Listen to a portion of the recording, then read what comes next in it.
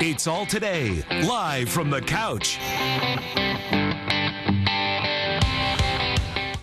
Hey, according to a recent Harvard study, Americans throw away 40% of the food they buy, often because of safety fears. And with grocery prices rising, we all know about that, knowing how to make food last can also save you some serious bucks. And here with a few tried and true tips is Chef Tony Notaro, author of Great Kitchen Secrets. Thanks for being here. Thank you for having me. I appreciate it. Oh, look, we got a handshake and everything. Absolutely. I don't know about that, but, you know, you're 100% right. We just waste our food because there's little tricks and secrets that we never really learned before. So I want to reveal some of the things we did. I got a dozen eggs. I don't know how long they've been there. I don't know if they're good or bad, but I hate to waste them. I'll tell you what, it's really easy to find out how old they are. Let me just show you. I'm going to take an egg from here. I'm going to drop it in the water.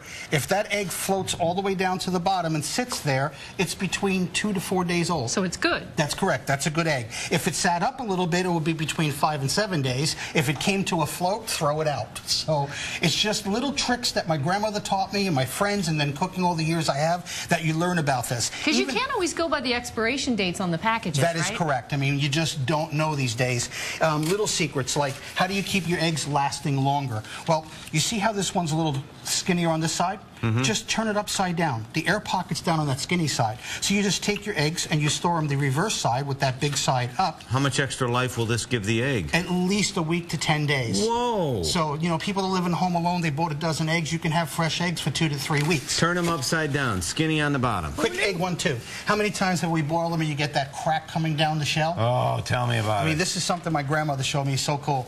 Just put a little lemon on that shell. It'll harden it in the boiling process. And when you drop those in and you boil it, that will keep them from cracking on you.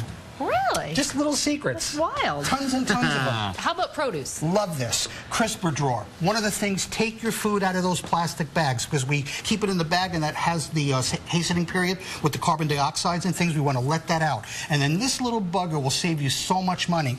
That draws the moisture in the drawer, so now you don't have wilty vegetables. So your celery will stay fresh for anywhere from five to seven days. And then you're going to wash it before you prepare it that anyway. That is correct. Absolutely. Now, this obviously is not coated with Comet. No. This is a new it's clean just a new clean sponge. sponge. And if you don't like to look at a sponge in there, what I always do, paper towel. Either one it'll draw the moisture here instead of keeping it there. It stops wilting. Um, this one I love. This is such a simple secret. Look at this. I put a little saucer down on the bottom. Can you see the water content? Oh, oh yeah. I don't know. Can, yeah. can you see that? It's moving right there. It's down at the bottom. Yeah. So when you rinse your salad, it's full of water and it sits there and it clings onto the lettuce. And then what happens, it hastens that wilting period. So what I always put is that little saucer at the bottom, plop it in, give it a couple of turns, and That'll take all the water down, and that'll stay crisp from morning until night when you're serving your dinner. Oh. How about fruit? When you cut it, it turns brown. Yes, it always does. It's called the oxidation uh, period. What I do is acidulated water, and everybody, and this is an age-old secret, little lemon and water, peel your vegetable or fruit, pop it inside that water, and those pears, when you peel it, won't brown. Your apples won't brown for your apple pies. You can do that with bananas, anything that would normally oxidize. Hey, define, define little, and can you use lemon juice, or do you have to use real You don't lemons? have to use fresh lemons. You can use reconcentrated juice. All you do is a couple of nice squirts inside the water, pop your fruit and vegetables in, you're ready to go. I'm going home and turning everything upside down in my refrigerator I have to today. show this. What does this do? Well, it, you know, let me just open this up and show everybody what happens at home. See that water? Yeah. Yeah, because it's separation. have to get that on the sky if you can get that on the sky cam, yeah. that's so cool. Yeah, so, so this is what wet. happens after one or two weeks, and then you've got to try to mix it all together, and yeah. people hate it, and you know it's gotten dried out. Let me show you what happens when you store it upside down. Look at there. It'll stay that way that for two looks weeks. delicious. Two weeks. So this works with cottage cheese, Cottage yogurt? cheese, yogurts, anything that There's you would no sour water. cream, especially sour cream. Sour cream will separate really easy on you.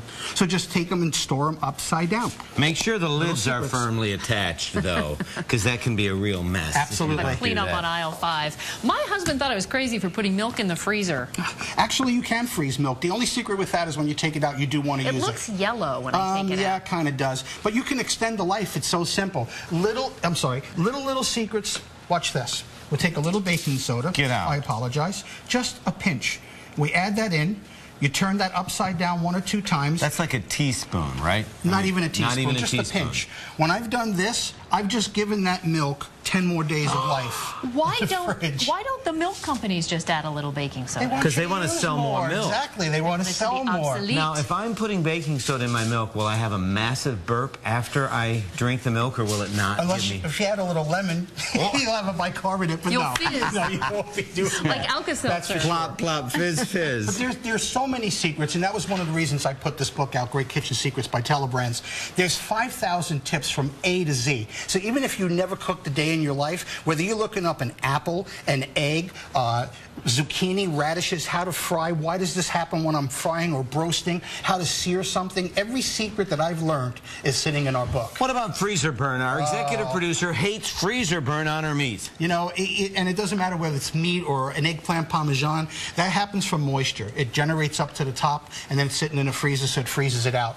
This is your savior right here. Just a little plastic wrap. People don't realize it. But what I do is when I get this home from the supermarket is I place my plastic wrap on first and then I take my tin foil and I wrap this up. And now I've put that protective layer so that moisture is not going to build up.